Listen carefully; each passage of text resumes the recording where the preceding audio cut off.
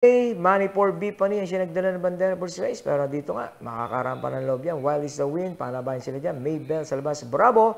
Pero mas may dating eh. Itong si Wild is the win. Kita naman natin. Pagkuha ng unahan. Laking kabayo. Sabay iktad ng kalamang with Dodong Villegas. Yan. Binagsakan pa ni Dodong. At ito nga. Ganda ng labanan sa segundo eh, between Maybell.